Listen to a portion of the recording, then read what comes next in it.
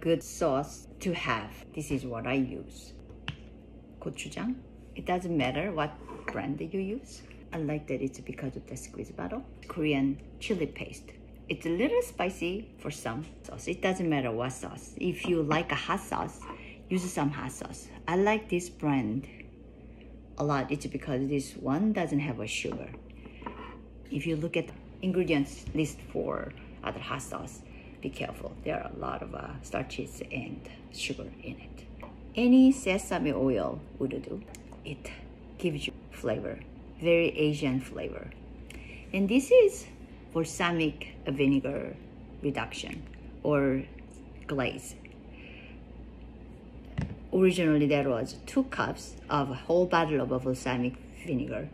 I simmer it for an hour. So it became sticky, sweeter, intense flavor. And I drizzle everywhere. It's a good for on top of the steak, uh, steak, fish, or chicken, or even dessert. Good with uh, fruits even. And of course, good with vegetables.